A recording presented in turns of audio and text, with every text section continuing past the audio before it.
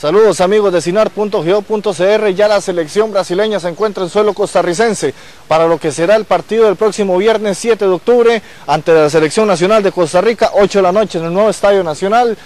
Ya figuras de la talla de Ronaldinho, de Neymar, también de Thiago, también de Dani Alves, ya se encuentran en nuestro país. Después de 51 años la selección carioca vuelve a territorio costarricense. Pasaremos a escuchar lo que dijo entre ellos Tiago, también Dani Alves, quizás muy escueto en sus declaraciones, sin embargo ha sido una de las pocas que hemos logrado recabar luego de que el operativo de seguridad ha sido muy amplio por parte de la disposición de la Federación Brasileña de Fútbol, así como de la administración del hotel. Sin más preámbulo, los dejamos con las imágenes de lo que fue la llegada y también de las declaraciones de los jugadores brasileños.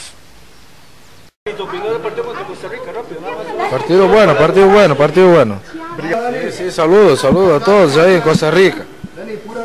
Que disfrute ahí de la selección brasileña, todos. Invitar a la gente para, para que vayan a verlos al estadio, Dani. Invitar a la gente nada más, de, decirles que vayan al estadio. Espero, espero que vayan, que comparezcan, que disfruten de la selección brasileña. É, cara, com o Davi, eu, eu, pou- poucos jogos que eu joguei com ele, me, me senti muito bem, muito, muito seguro com ele. É um cara que, que passa bastante tranquilidade.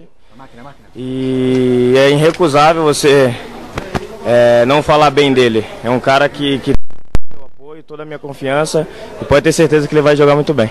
Eu acho que vai ser um jogo interessante. Imagino que, que com, com um público bom, a procura por ingressos não tem sido é, fantástica, mas acho que até, até viernes, até sexta-feira, como nós dizemos em português, é, deve melhorar e, tomara que a gente tenha uma, uma grande festa.